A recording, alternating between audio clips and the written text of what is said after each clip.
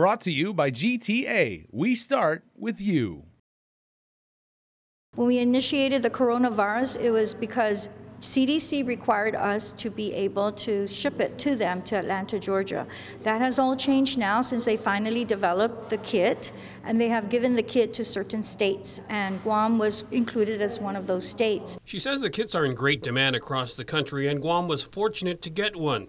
It didn't hurt that DeNorcey has connected with two top CDC officials who have also visited Guam. Because we're in a very strategic location and Guam being a territory of the United States, we're very fortunate to have it. And Dr. Jose Montero did visit Guam, and so did Bill Gallo. So I had a very good relationship with them. Also, when I went to Atlanta, Georgia, I met them personally. DeNorcey says lab equipment that's needed in order to use the lab kits are also ready. That machine has already been recalibrated. As of yesterday, Thermo Fisher confirmed everything was good to go, and so the machine is ready to operate. But Dr. Vince Akimoto, who hosted a public health briefing at his American Medical Clinic in Manila, was concerned that the machines may have been down for months, and DeNorcey had to tap other connections in the industry to get them fixed. We're supposed to be a sentinel laboratory. We're supposed, to, but they've been broken, and the reagents haven't been ordered, and, and public health has done a terrible job of maintaining very expensive uh, pieces of very sophisticated molecular biology equipment. But DeNorcey says they were disconnected when a fire shut down public health's main lab in Mangilao indefinitely. They were just turned off, and then we wanted to preserve them, so we had them immediately transferred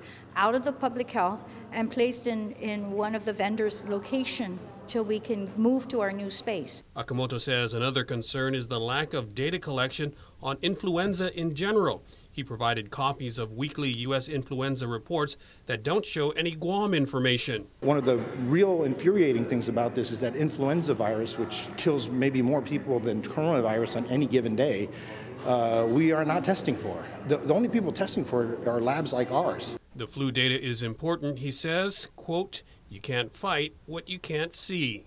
For Guam's News Network, I'm Nestor Licanto. Brought to you by GTA. We start with you.